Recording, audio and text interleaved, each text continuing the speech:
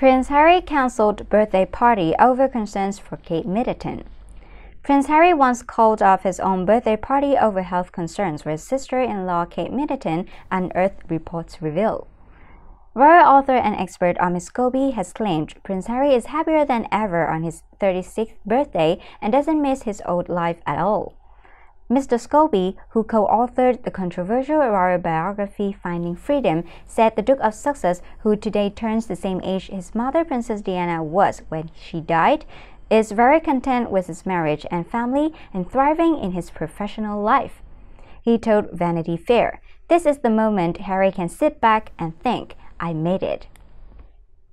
Meanwhile, royal commentator Ingrid Seward told the publication that the Duke of Sussex can celebrate his birthday on a high, adding, He's embracing his new life and everything is an adventure right now. He's moved on very quickly and I don't think he misses his old life at all.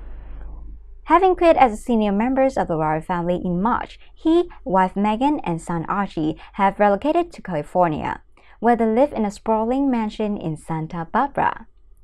Earlier this month, the couple signed a mega production deal with Netflix, announcing their intention to provide hope and inspiration with their upcoming documentaries, feature films, and children's programming. It's not clear whether Harry's relationship with his brother, Prince William, and sister in law, Kate Middleton, has improved since their relocation. Today, the Duke and Duchess of Cambridge shared a photo of themselves laughing during a running race with the prince on their Instagram account to celebrate his birthday. However, according to some royal experts, their bond with, will never be the same. In 2014, Kate even helped organize Prince Harry's 30th birthday party at the newly refurbished apartment in Kensington Palace. However, in the wake of the Duchess of Cambridge's severe morning sickness, the thoughtful prince reportedly contacted his guests and announced he felt it was inappropriate to carry on with the party. A source told the Mirror at the time, Harry was in no doubt that the party should be postponed, even though 30 is an important milestone. Kate had been very involved in organizing Harry's party, and once she fell ill, she, he felt it wrong to let the event go ahead.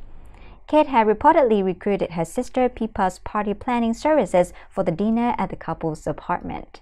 The source added, he has promised his friends he will organize a post 30th birthday party when the time is right. Kate's sickness, known officially as hyperemesis gravidarum, led to her being hospitalized and she was pregnant with Prince George.